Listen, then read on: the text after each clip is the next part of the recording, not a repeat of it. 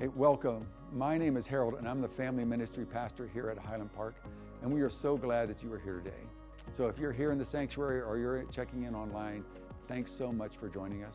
If you are new here, we'd invite you to fill out a connection card either online or in person so we can get to know you better and, and, keep you up to date with what's going on here at the church.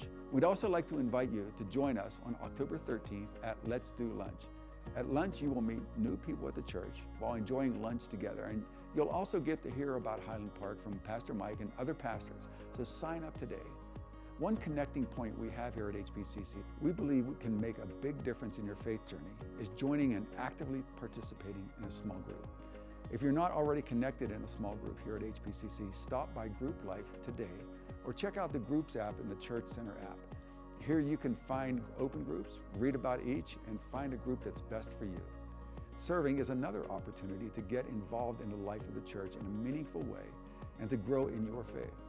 Your service contributes to the church's mission, so, so stop by Go Central today and see how you can use the gifts God has given you to serve within our church and in our broader community. At HPCC, we know the power of prayer and the importance of joining together in prayer. Each prayer and praise request we receive is gathered and given to our staff to be lifted up to God. It is an incredible honor to serve our congregation in this way. So visit our website or download our app to fill out a prayer and connection card. And if you, you prefer a physical card, they are located in the back seat right in front of you. You can fill it out and drop it in the box as you exit the worship center today. Our mission is to take risks, to pursue God, and to love others like Jesus. What does this look like at Highland Park? Over the past several years, you have spread Jesus in our community by having Jesus conversations. You cared for, prayed with, and shared Jesus with thousands of people. Each of these conversations planted a seed that God is faithful to water. So thank you for your obedience in sharing his good news through actions and simply loving them like Jesus. So as we intentionally continue these conversations with others, they lead to discipling relationships in which we, as the church, walk alongside them and teach them what it looks like to obey and follow Jesus so they can one day do the same for someone else. So let us begin to worship by offering God our tithes and offerings. What a gift it is to give back to others what God has given to us. You can participate in this act of worship today by giving either on our app or our website or by dropping your physical tithe in the basket as it passes this morning. It follows upon us and we have just begun our all-church series called Letters of John. Fall kickoff at HPCC means there is something for everyone to get involved in, including Financial Peace University and a class on Sunday mornings designed to help you and your spouse understand one another's love language in a new way. To stay informed about events like this, be sure to check out our events page or our app or our website. You can also download the Church Center app to stay up to date on what is going on in the church's life and how you can get involved. So now, would you please stand and let's worship with one another. Hey, good morning, church. It is so wonderful to see you, whether you're here in the building or you're joining us online. I just love to come together to celebrate all that God has done and continues to do in our life and to just lift up his name and praise. And so, before we dive into our service, I just wanted to take a moment and introduce to you my friend Josh. This is Josh Eddington, and he is a worship pastor at Crossings Community Church in Oklahoma City. And some of you may recognize him. We've had the incredible opportunity of just having him join us once a year for the past eight years. And it is always a great time for our team as he speaks life into us, as he just brings leadership and opportunity for us to grow, but also leads all of you so wonderfully to the foot of the cross. So, will you just help me this morning in welcoming Josh Eddington?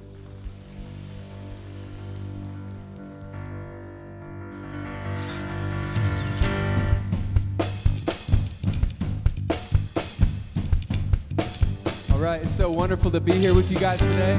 Let's praise Jesus, all right? Here we go. I'll praise in the valley, praise on the mountain. I'll praise when I'm sure, praise when I'm doubting. I'll praise when outnumbered, praise when surrounded praises the waters my enemies drowning.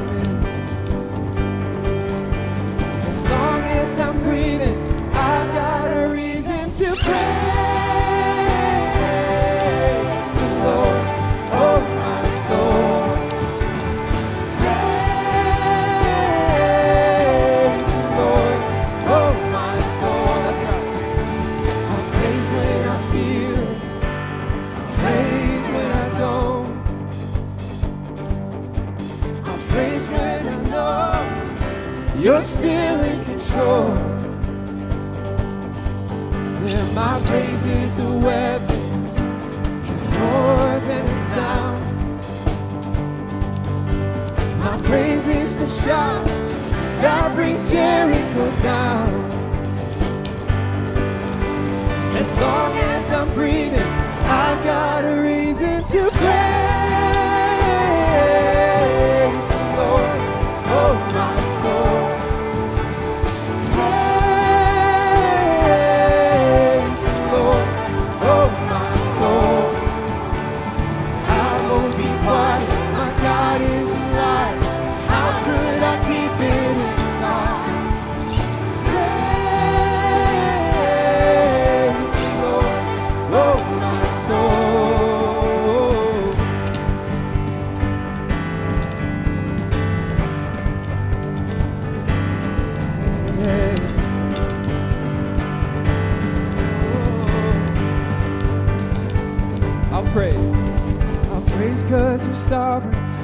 cause you reign.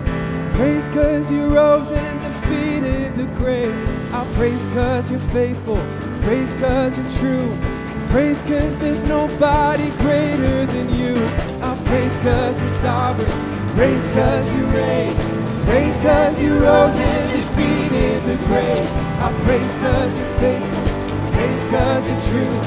Praise cause there's nobody greater than you. Praise Lord, oh my soul.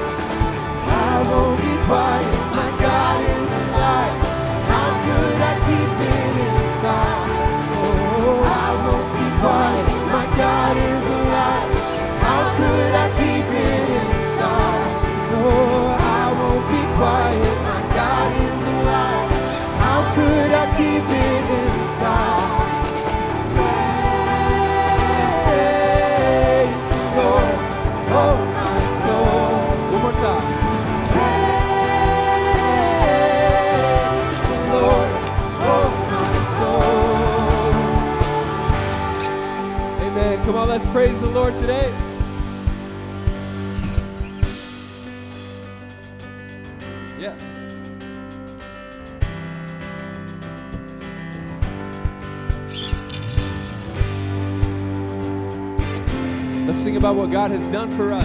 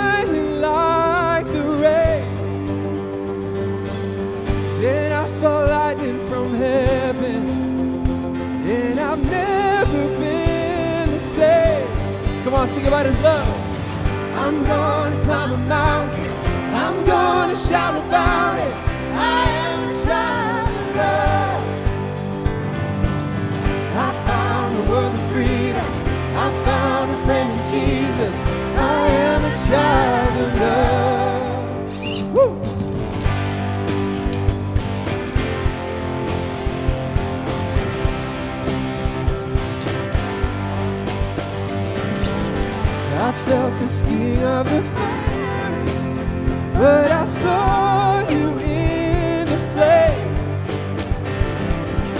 Just when I thought it was over.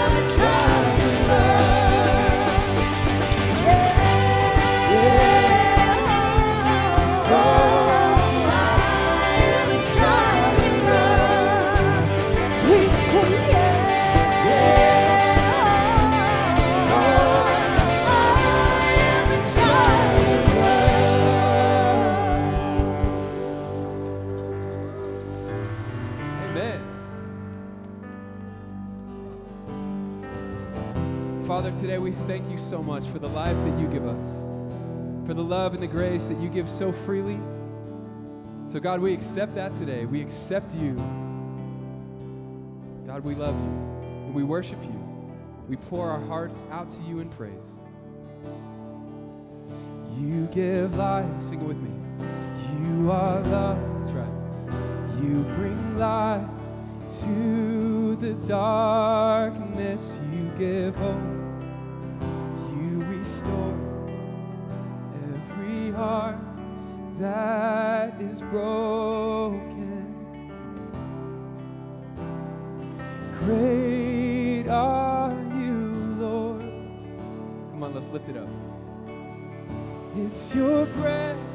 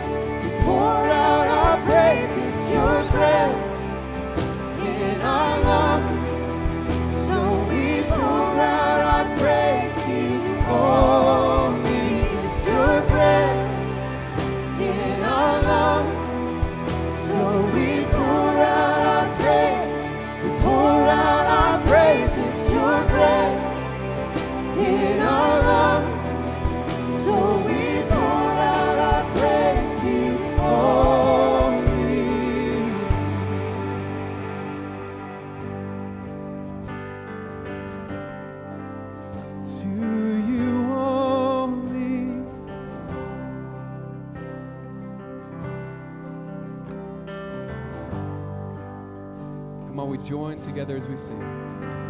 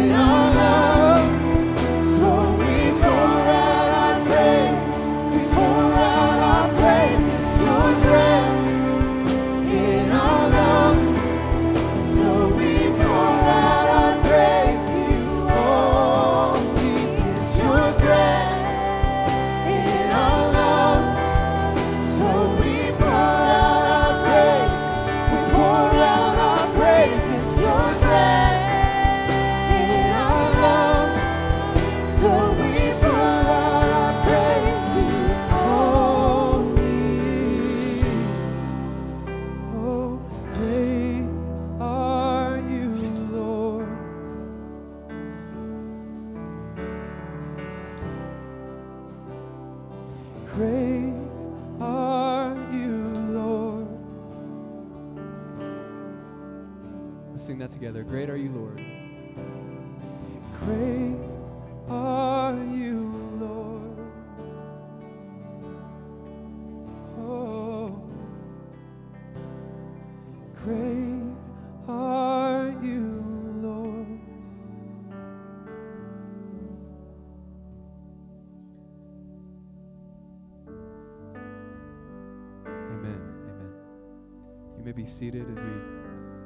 This heart of worship and an attitude of, of worship um, and love to our amazing God. I'd like to invite our ushers forward as we um, as we continue in worship through giving.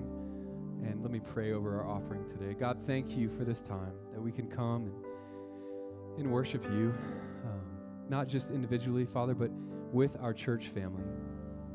Um, God, that we can worship you together. And there's just something so powerful about times like these when we can take our eyes off of ourselves and we can fix our eyes on Jesus. And so thank you, Lord, for what you're doing today. I pray that our our tithes, our offerings, Father, would come from a place of um, trust. And Father, we know that you are in control. And so we give of these tithes um, in a heart of worship and gratitude to you. In Christ's name we pray. Amen. We're going to sing one more song this morning. But I wanted to read from Psalm 145. I woke up this morning and God just gave me this passage. And I want the, the scripture to just speak for itself. So this is what David says Psalm 145 I will extol you, my God and King. I will bless your name forever and ever. Every day I will bless you and praise your name forever and ever. Great is the Lord and greatly to be praised, and his greatness is unsearchable. One generation will commend your works to another and shall declare your mighty acts on the glorious splendor of your majesty and on your wondrous works I will meditate. They speak of the might of your awesome deeds, and I will declare your greatness. Verse 8 says, The Lord is gracious and merciful, slow to anger, and abounding in steadfast love. The Lord is good to all, and his mercy is over all that he has made. That is the God that we worship, the God that we have put our trust and our hope and our lives in. And I just thank him for what he's doing. I thank him for what he's promised to do as well. So let us continue in worship with this heart of gratitude as we think about who God is.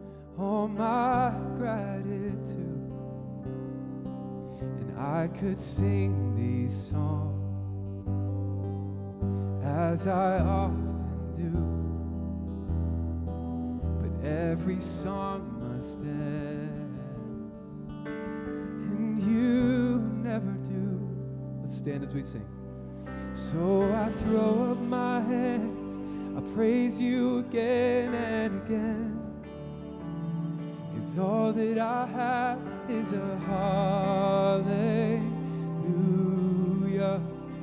hallelujah. And I know it's not much, I've nothing else fit for a king except for a heart.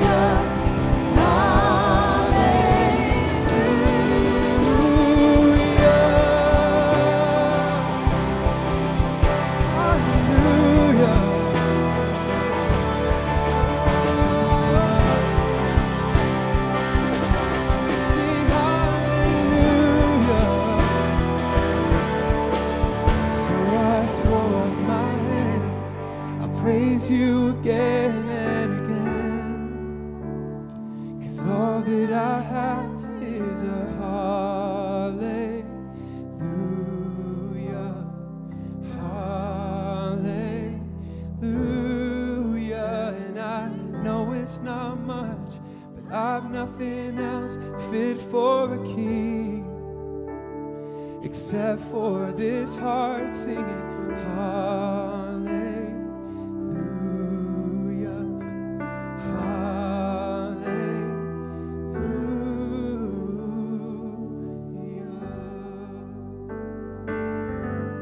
We praise you lord.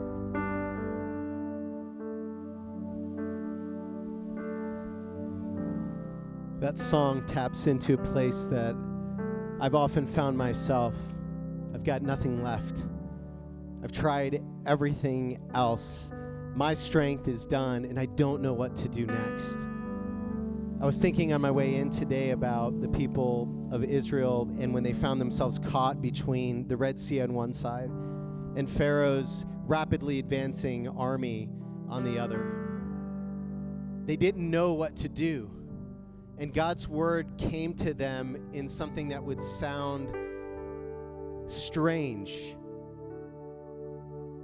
But he told them, The Lord will fight for you. You need only to be still. That is so the opposite of everything I want to do when I'm in a situation that I can't control. I want to kick and I want to push and I want to move and I want to do something, anything but stay still. But it was in that stillness where God revealed the next step to Moses and the people. And it, it's where he revealed his power and glory. So I want to invite us into that place of stillness this morning. That whatever you're going through, wherever your challenge is, wherever your spot of difficulty is, just let's take a moment and pause with God in that because He wants us to be still, to listen for Him, to connect with Him, to commune with Him, and for Him to show us the next step. So let's be still together.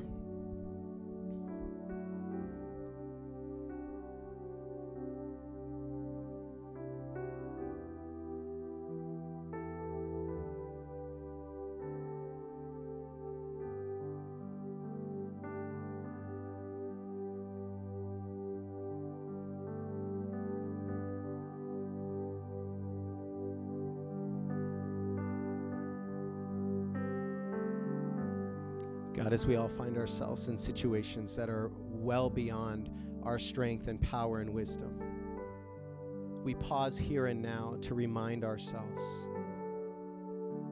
that no matter what we're going through, you are with us in it, that you see the other side, and that you have a plan.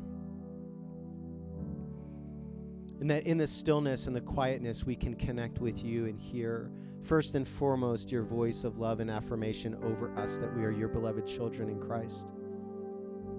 And second, that you can show us the next step.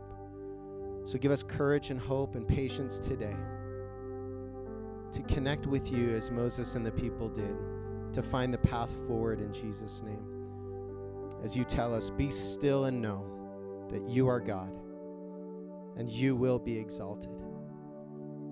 We trust you in that today. We thank you in Jesus' name. Amen. Hey, church, before you're seated, take 30 seconds and notice the people around you. Give them a smile, a hug, a handshake, or a fist bump. Let them know that they're valuable, that you're glad to see them today. And then we'll get into the message.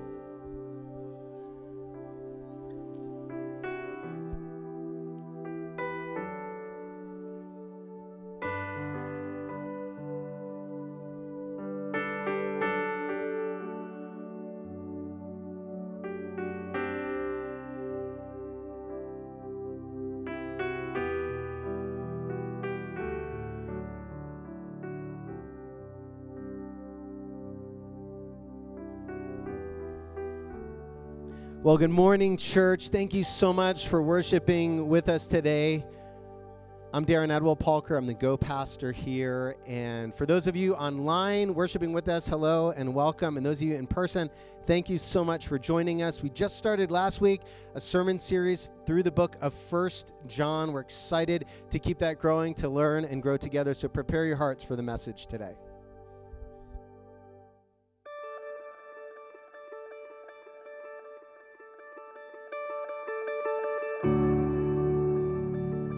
This is the message we have heard from him and declare to you God is light. In him there is no darkness at all.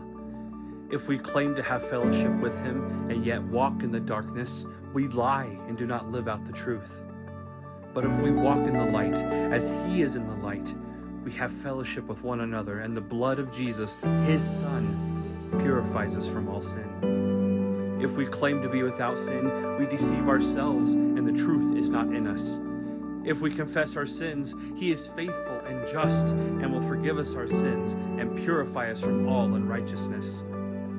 If we claim we have not sinned, we make him out to be a liar and his word is not in us. My dear children, I write this to you so that you will not sin. But if anybody does sin, we have an advocate with the Father, Jesus Christ, the righteous one. He is the atoning sacrifice for our sins, and not only for ours, but also for the sins of the whole world. Well, good morning.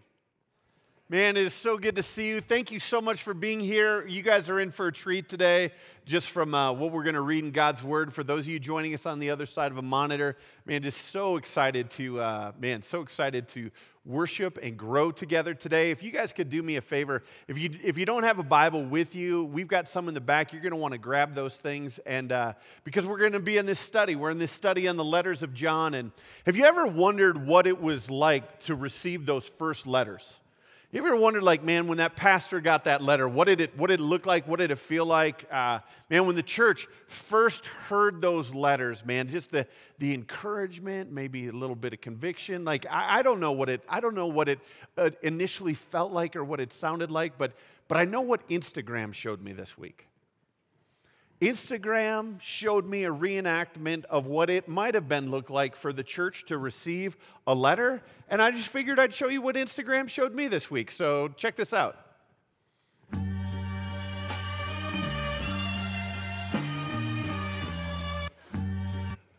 Man, those eyes, dude. Oh man, it's so funny. And it's only funny because man, there's a part of it that's probably true. It's like, oh my goodness. And you're looking at, man, what God is saying and how my life's being lived. And you're like, oh man. And, and man, maybe, maybe, maybe as a pastor, if you're looking at that and you're like, I, I, I got to say this out loud to people who, who might not be ready for this. And, and that's okay too. So, uh, man, we're going to, we're in this study on the letters of John, and, and I wanted to just remind us real quick uh, of what this is about. Our, our studying of John is to move us towards discipleship. And I want everybody, I want to just remind you that our, our vision, Jesus, and it's not ours, it's Jesus, we're just articulating it, is that everyone who calls Highland Park Community Church their home church would be a disciple of Jesus who is intentionally, like Jesus did, making disciples who go out and make other disciples of Jesus. This is the work of the church.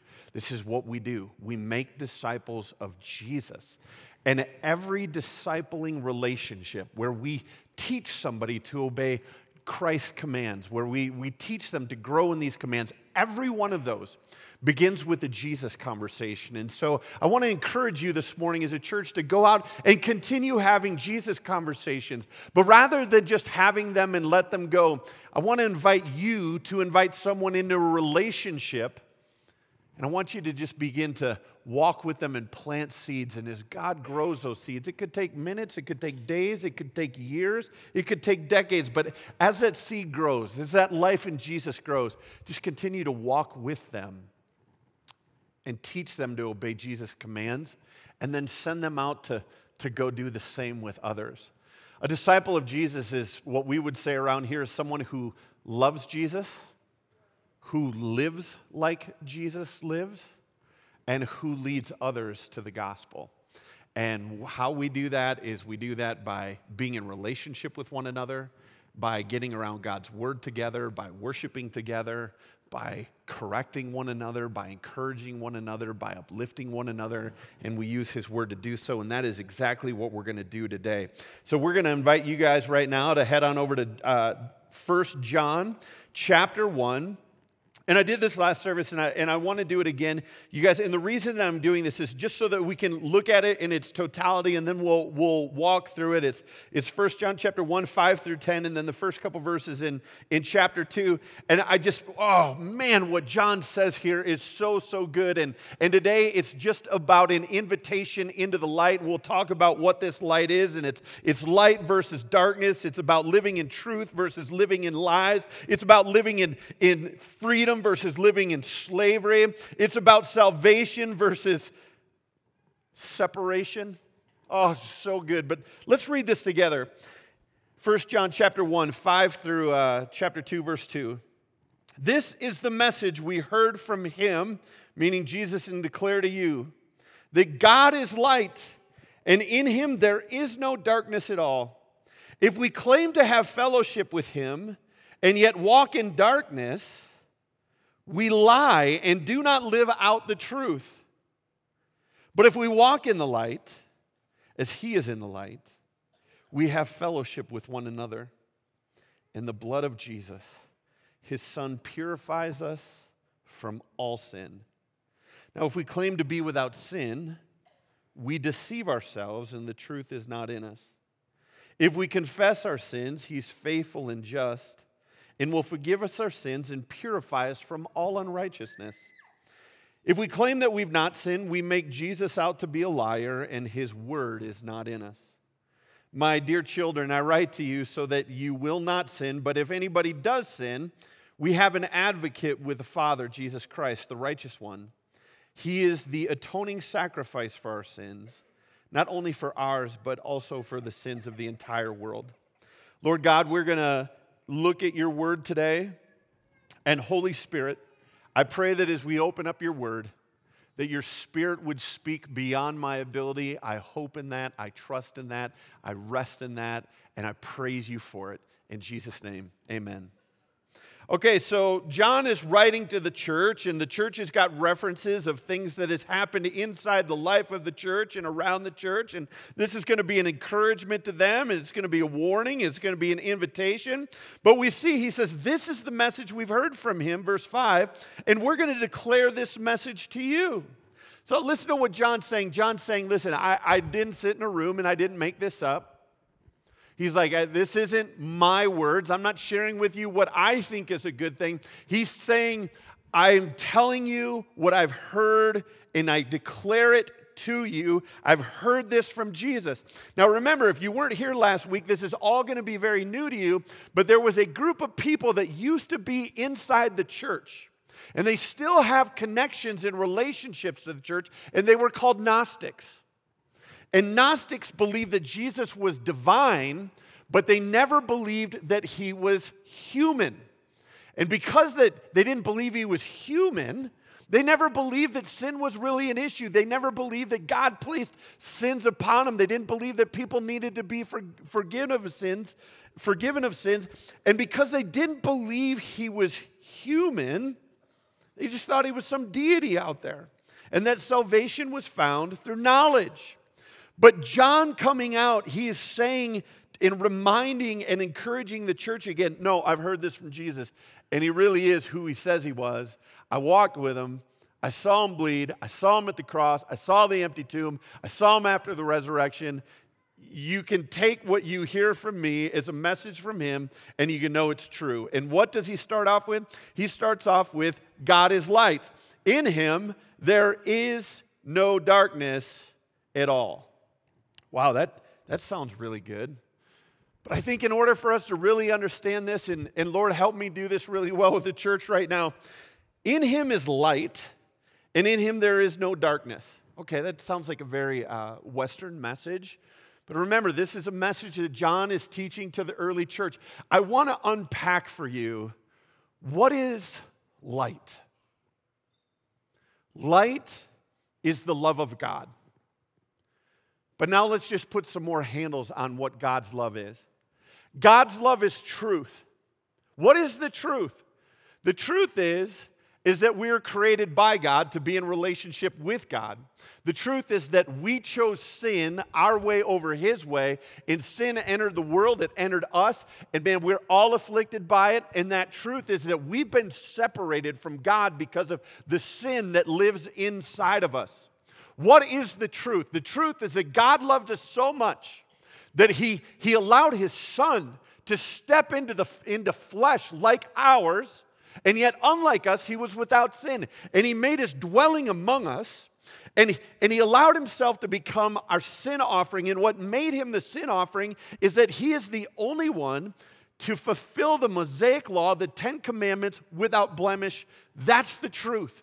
And it is only through faith in Him that we can be made right and that we can be justified. So when he says God is light, he's saying there is no evil, there is no wickedness in him at all. He's truth. But I want to talk about the light some more. What is the light? The light is hope. Because, man, when you're separated from God, when, when sin, when you're a slave to sin, you want to know what's missing from your life?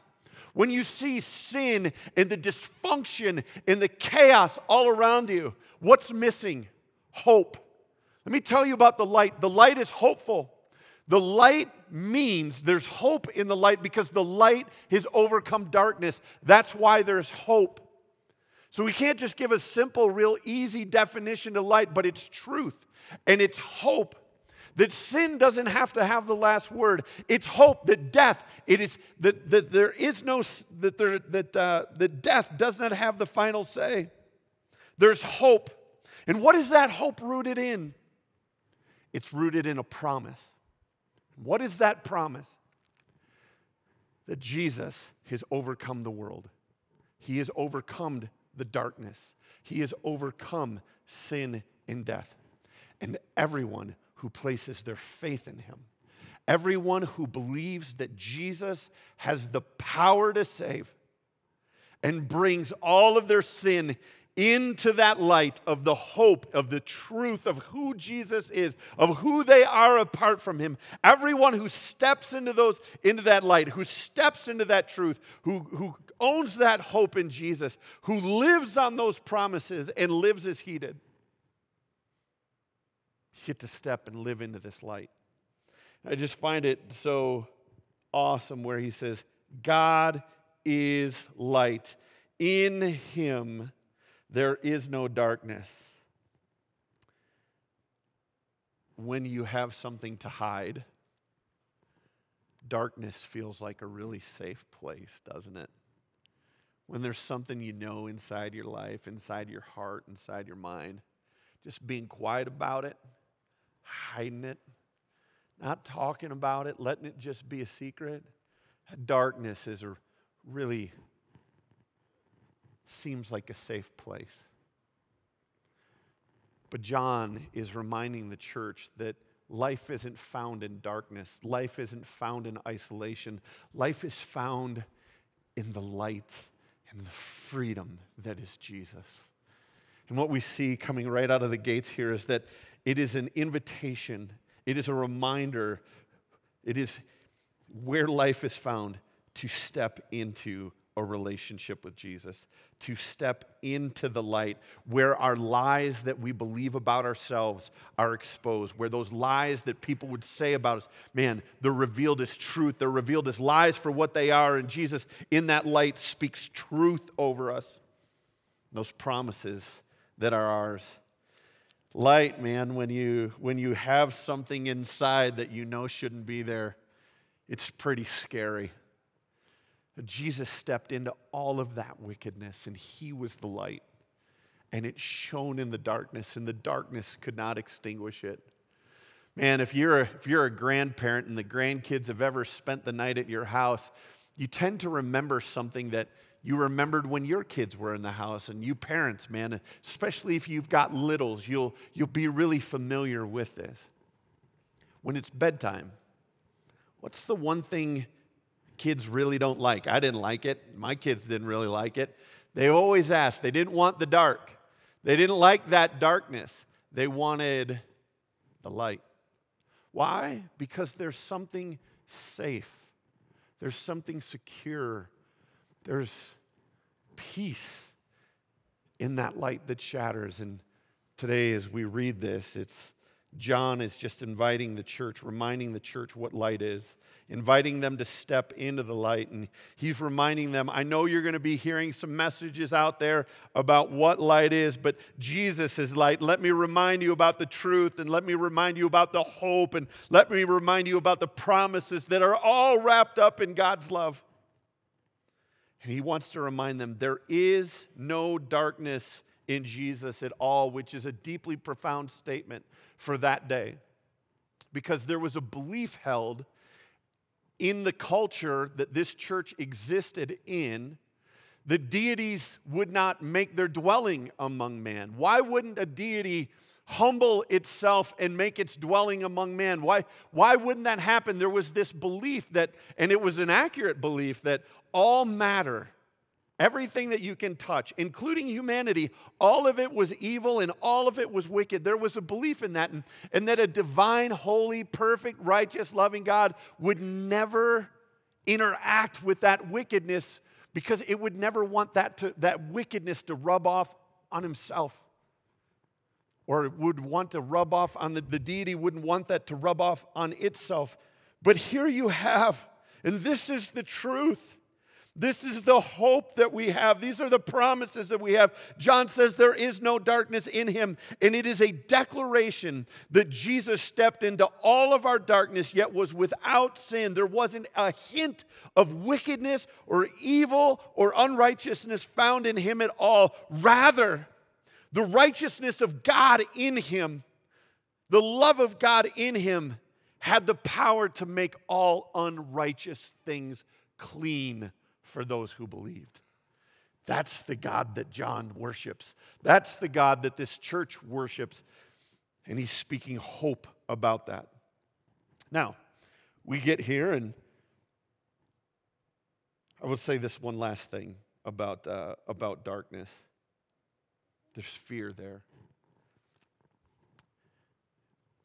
John, we know what John 3:16 is. But do you know what John 3:19 says? Has a conversation about light and dark, and I just think it, it bears worth going back before we move on. John says this the verdict is in. Picture a courtroom. Cases have been made. The prosecution and the defense has, has gone on the offense and they've made their case. And now the final, the final verdict has come in. And this is the verdict that light, Jesus Christ, has come into the world. But people loved darkness instead of the light. Why? Because their deeds were evil. Everyone who does evil hates the light, and they won't come into the light for fear that their deeds would be exposed. Bring in those lies, bring in those habits. It's a hard invitation to say yes to until you understand how good the invitation is. And oftentimes there's fear like, I don't want people to know, I don't want people to know, but I want you to know that there should be a greater fear out there. And the greater fear is that if that thing isn't addressed, man, that is going to lead you to separation for God from eternity, and it leads to a, a real verdict, a real judgment where you never get to experience the love of God. Don't be afraid of the light. It's an invitation to live in the light, to be able to bring yourself into that and say, Lord, here's my flaws. Lord, here's my sins. Here's the lies I believe about myself. Lord, will you heal these? Because I don't have the words to heal myself. I don't have the power to set myself free from these habits and these behaviors. Lord, I want to step into the light, but I'm scared to death. And Jesus says, Come on into the light. There's hope here, there's life here, there's peace here, there's truth here, and it'll all set you free. Don't live in the darkness. And even though these words were aimed at a group of people who were living in darkness. It was an invitation into light. We'll talk about that more here. Let's go to verse 6. If we claim to have fellowship with him, and yet we walk in the darkness, we lie and we do not live out the truth. Let me say that again. If we claim to have fellowship with him and yet walk in the darkness, we lie and we do not live out the truth. You see, the men and women that John was writing this letter to, they had friends, they, they had people, they had acquaintances that used to do life with them in worship services. They used to do life with them maybe in homes, but there is a group of people that claim to be Christians, and yet they're walking in the darkness. What does that mean? What that means is they're saying, I, I am a Christian. I am a follower of Jesus. And yet, John is saying, Well, I see what you're saying with your words, but yet you're walking in darkness. And if you're walking in that darkness, you're lying and you do not live out the truth. I want to go back to those Gnostics for a minute. Last week, I introduced you to a group of people that used to be inside the church. They're now outside the church, but they still have an influence with the people inside. And, and they're trying to pull these believers out of the light into the darkness. And they were known as Gnostics. Gnosticism is this it is a religious orientation advocating gnosis. Gnosis is a Greek word for knowledge. It is a religious orientation advocating knowledge is the way to release a person's spiritual element considered heresy by Christian churches. To put it a simple way, they believed this. A Gnostic believed that salvation was found through knowledge alone. They believed that they had received a special revelation. And that special truth is what saved them. Before this special revelation came, they would have they would have said, Man, I'm sinful. But because of this special revelation, this knowledge, they believed that they were saved. And I want to remind everybody it is not by knowledge that we're saved, it is not by works a person is saved. It is by placing our faith in Christ and Christ alone, by confessing that He is the Son of God and that He did die on the cross for our sins. It is by our faith that Christ is able to save that we are actually healed and made well. And that transformation of living and walking with Him is what sets us free. And He is saying, John is saying, if you claim to have fellowship with Jesus and yet walk in the darkness, you're lying and do not live out the truth. So let me say this plainly there was a group of people claiming to be Christians and yet their life looked nothing like Jesus. And yet they thought they were in the light. Let me say that again. There was a group of people who claimed faith in Jesus. They had said, Jesus is Jesus is Lord. I've got this special knowledge of him. Jesus is Lord, he's Savior. But their lives looked nothing like him. Their belief about him was false. They did not believe that he was human. Jesus had to be human like us to bear our sins, to fulfill the law, so that he could save us. If Jesus was never human, he would not have had the ability to save. And yet, there are a group of people who claim him, and yet they live in darkness. What would that mean? What that would mean is with their mouth, they confess him, but with their lives, nothing looks like Jesus. They have idols, they're sexually immoral. They gossip. They slander. They don't serve. They don't give. Their life looks nothing like Jesus. And John is saying, You can claim him all you want. But if you're walking in darkness, you're just deceiving yourselves.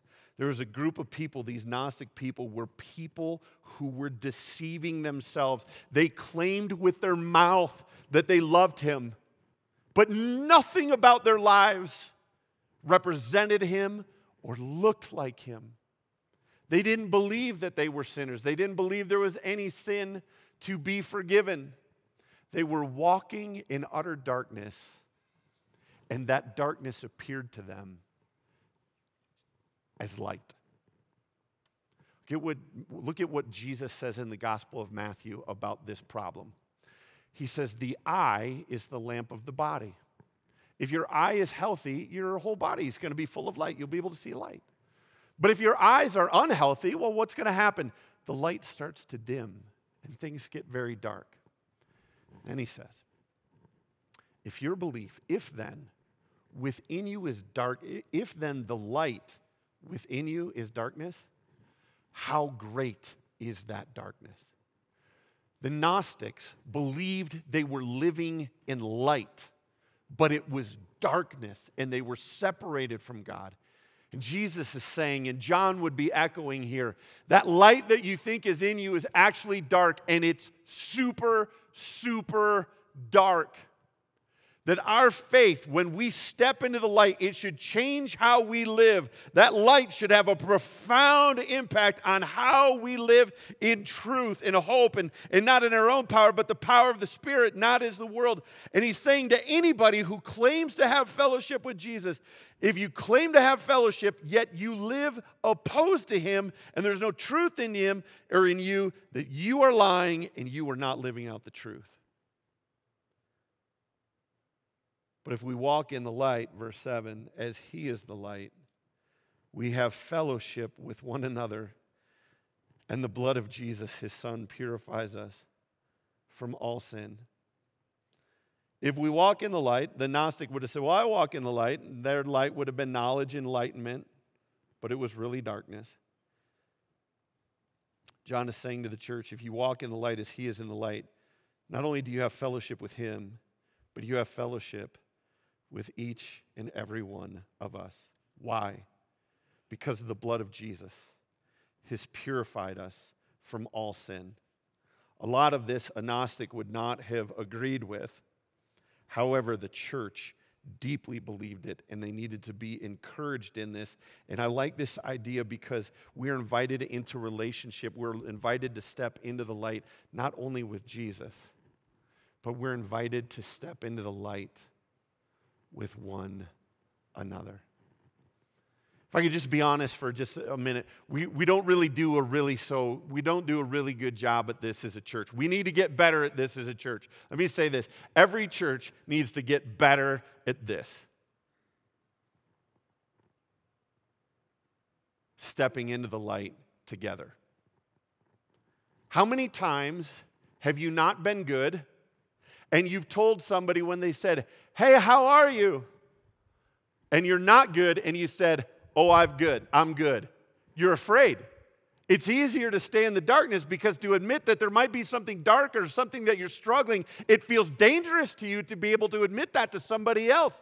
Why? Because there's this lie that we believe that we have to be perfect that we could be perfect. There's this lie that we believe that everything's got to be cleaned up. It's almost like there's this sign Welcome to Highland Park Community Church. Welcome to any church in the West. You are welcome, but messes are not. Nobody steps into the light without sin. We all come into the light with sin. I want you to just look around the room here. Why don't you just look around the room? Look at all these pretty faces. You're all dressed up. You all look so good. Probably smell good for the most part. I want you to know that you're looking at a bunch of people who nobody made come here today, but they came here to seek Jesus, to step into the light. I want you to understand there is not one perfect person in here. And I want to just publicly admit I'm not perfect either. I need Jesus. I am a sinner saved by grace. We have to create this space because he's like, man, once, once you understand like the lies and how the enemy's trying to keep you in the dark and how he's trying to keep you mastered by slavery, and once Jesus comes and he illuminates all of that and he steps in, he's like, no, come on in here. And he's, he's not put off by that. And you're like, oh, wow. That's what the church is made up of a bunch of people in transformation from death to life. And we get to bring ourselves in. Like you don't have to hide what you're dealing with. And that's what John's saying. If you're in the light, you don't have to hide you. Just come on into it. But come on into it together. Because did you know that there's something beautiful, church, that when Jesus redeems us, He's the head, He's who we're looking towards. And when the church gathers, and we're like, man, we, we've all lived in darkness. And now Jesus is inviting me walk in the light, to walk in new paths, to walk in new truths, to walk in life giving truths. I'm learning how to do that. And I'm not perfect at it. You can come on in too. There's room for everybody. This is what Jesus envisions as the church. This is what we as Highland Park want as the want as a church. We, we're not going to compromise the truth. We're not going to water down the gospel. We're not going to tell you that sin is good. We're not going to tell you what is evil is actually good and what is good is actually evil. We're going to proclaim the truth. We're going to proclaim the gospel. And we're going to invite you to bring all of your stuff into it. And we're going to ask you to create spaces where other people don't have to hide in the dark around you, that lies can be exposed in the light and the gospel of Jesus Christ where love can overcome those lies. That's what John is saying. He's like, man, if we're in the light and we walk in the light, we've got fellowship with one another. Why? Because Jesus has forgiven us. Man, that sounds like freedom to me. That sounds like hope to me. That sounds like peace to me. I can, I can be myself. And I don't have to be perfect. Teach me. Teach me to walk in truth. Remind me again what Jesus says about me. We get to live in this beautiful, beautiful truth. There was people that were walking in darkness and that darkness was deep, but Jesus says, "Man, if you if you walk in the truth, oh, there's just such freedom in that and I want that for you. I want that for you guys. I want that space with you I want that space. I need that space with you. I'm saying is Mike. Mike, the follower of Jesus, needs that space with you. And I'm saying that you need it with me, and we need it with one another. I was invited to this thing called the Crucible. And it was mentioned to me as a men's event, and it's a men's event and it's a women's event. And they, I said, okay, what are you inviting me to? What weird thing are you inviting me to? And they said, hey, have you ever been to like a retreat where they bring in a motivational speaker and they play songs that make you feel really good and they inspire you and they send you out? I said, yeah, I've been to those before. Yeah, it's not that. What is it? I can't tell you about it. You got to go. I can safely say this about it. Here's what it is it is an invitation into the light with Jesus and one another. I want you to know that right over here are about three or four of my brothers. I walk into a room with them mostly on a weekly basis. We took the summer off. And I walk into them. They know every lie that I've ever believed about myself. They know all the struggles. They know all the hurts. And let me tell you what's not in the room condemnation. Let me tell you what is in the room fellowship. Me too. Let's see what God has to say about this and let's ask Him to save. Let's ask Him to help heal us. And it's not what they say to me or I say to them, it's the Holy Spirit. And so there's a deal up on the screen. It's called like radical transparency amazing grace. It's discipleship. But they create a space. The whole thing is about walking in fellowship one, with one another. I would just humbly say this if you are a community group or a small group leader here at Highland Park, I'm asking you to create that space because that's what it looked like. And, and to create that space, to create that fellowship, it doesn't just happen by saying, let's do it. It says, hey, man, today we're going to open up God's Word. And man, as we read God's word together, it's going to step on some toes. It's going to shine on some light.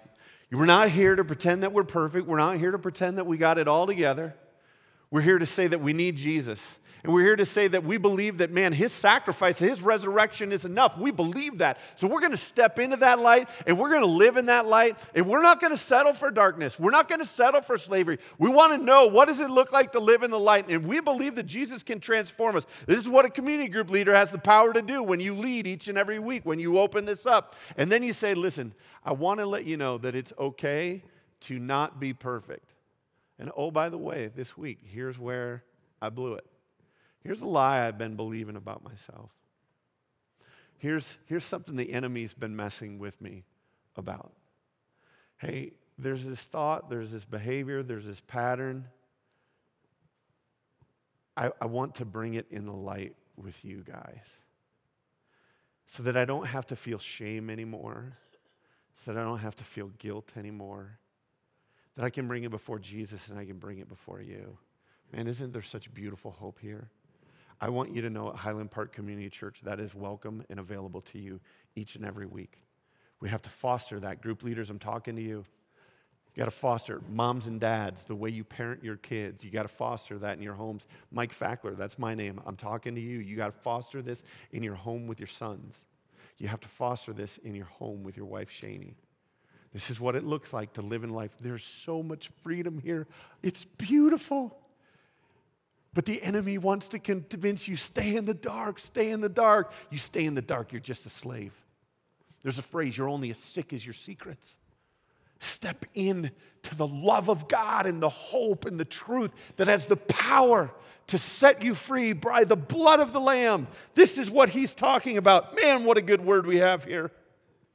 Now, these Gnostics didn't believe that they had any sin, and so, man, John is just reminding the church if you claim to be without sin, we deceive ourselves, and the truth is not in us. Man, I just tell you, man, maybe it's just me, but I'd have been really confused. I'd be like, man, you call yourself a Christian, but you, you don't talk, think, or act like a Christian, and man, like, what do I do with that? And he's reminding us this is what true faith looks like.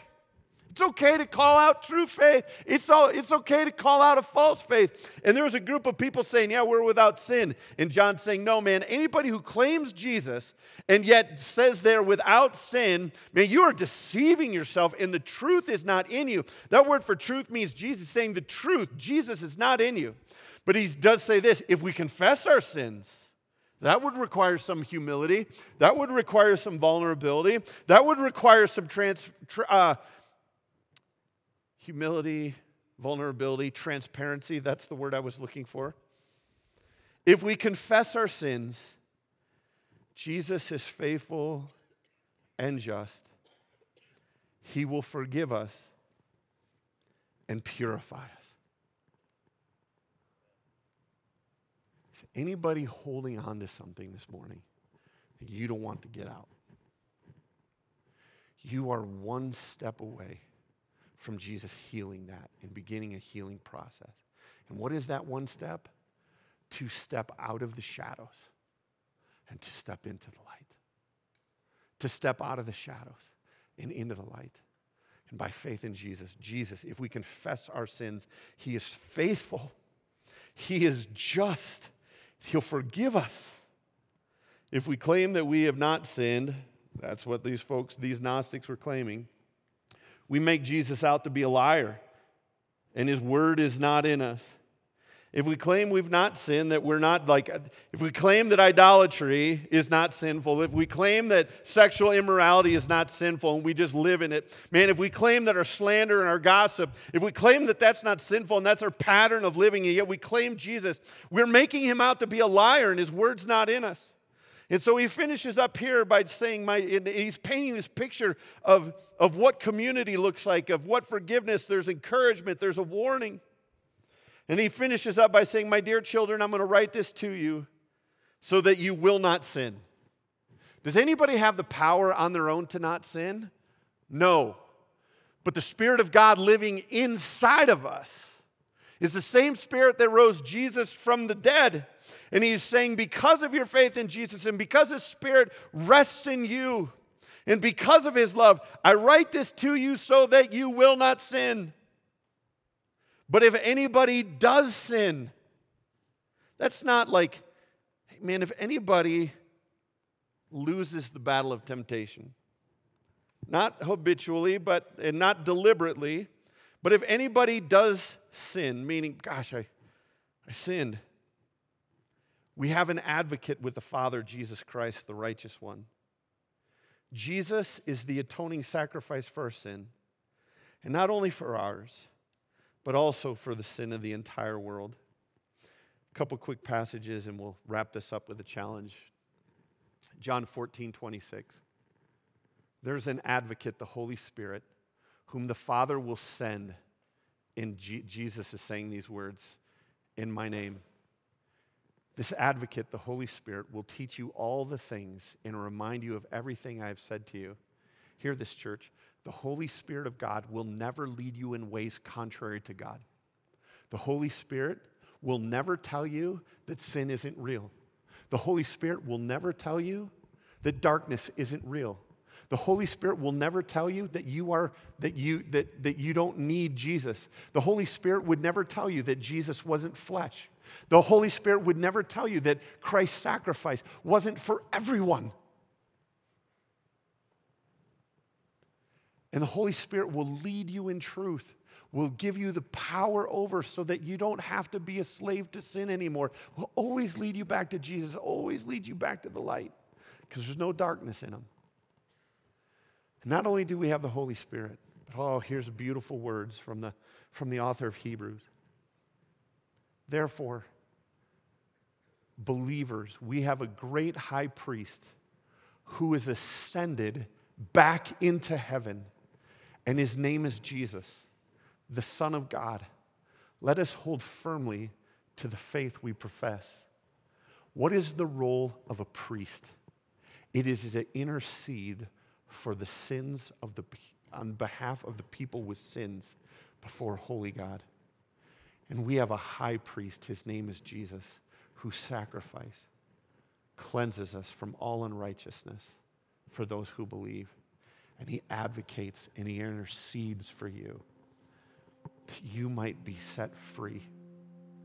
And that when the enemy comes and he lies and he smears and he tries to pull you and lie and pull you back into the darkness right now in the heavenly realms.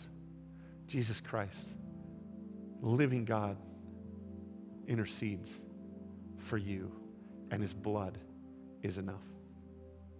Here's the challenges today. We're going to practice. Challenge number one is to step into the light. We live in a world where people say, I'm a good person. Translation, I'm good. I don't need Jesus. I don't need forgiveness of my sins. Why don't I need forgiveness of my sins? Because I am a good person. That is a person walking in darkness. They are blind. They have been deceived. They are living in a lie. If you are that person, I'm a good person. I'm getting in. I'm, I'm good, man. I've got, a, I've got a relationship with God. That's not the same as living in the light. You're, you're doing that based on you, and you are living in darkness. Jesus is light. Nobody has light other than the light that Jesus places in. And today is an invitation for you to confess your sins to Him and to come into the light with them and humbly say, I need you. And when you do that, you move from death to life. If you want to do that, you can confess your sins in the quietness of your own heart and mind in your seats.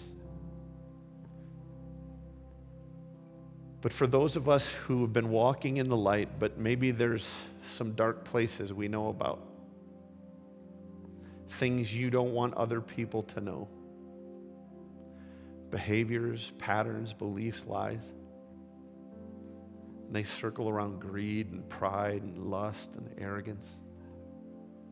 I want you to practice confessing those things to Jesus right bring that into the light and ex- begin to experience healing. Acknowledge it before Him. Find that there's no condemnation with Him. There's hope. There's forgiveness. I'm just going to be quiet and just let you do that.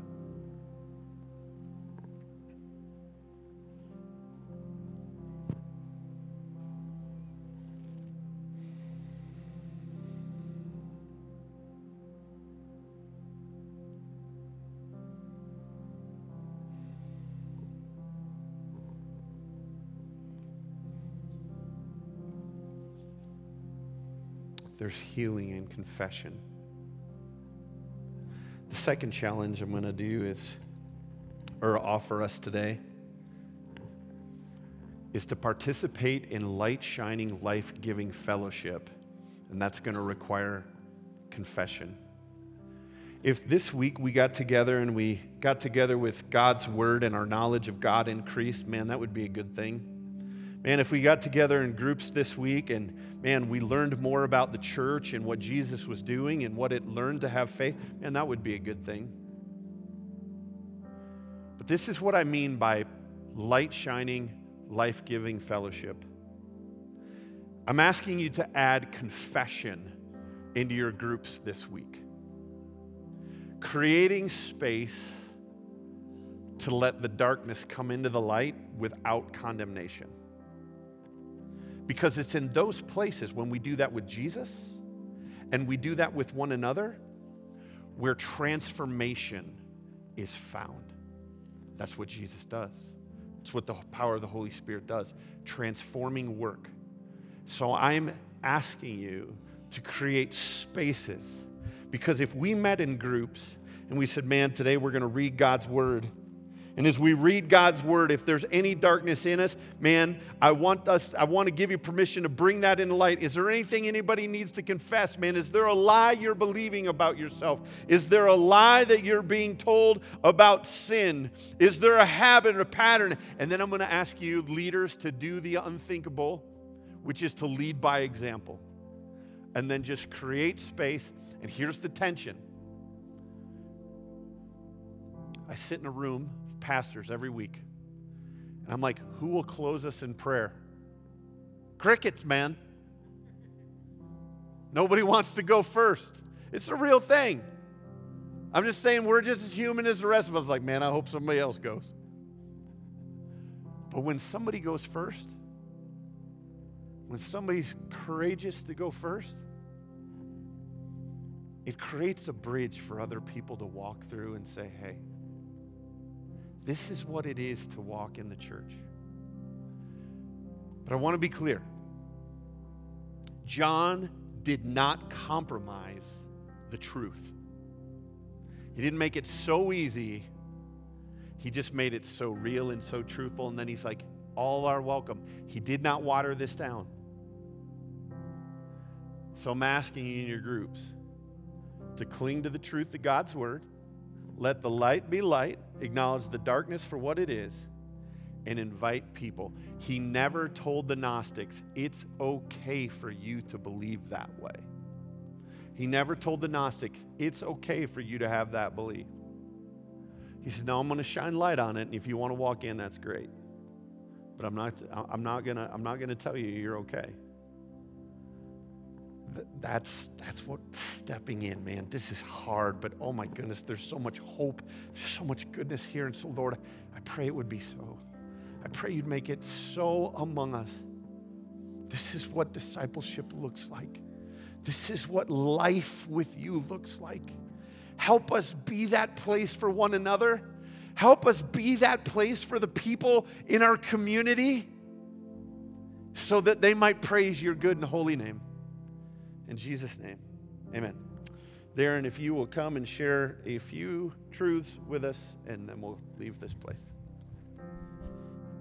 Amen. Yeah. Church, transformation is possible through Christ.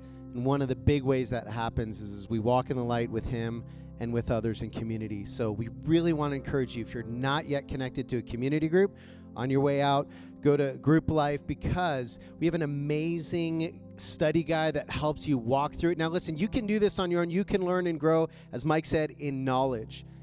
But we learn to walk it out in the community of others. And I just want to encourage you as we start this journey, get connected to a group, walk with us, grow with us, and watch what God does in your life.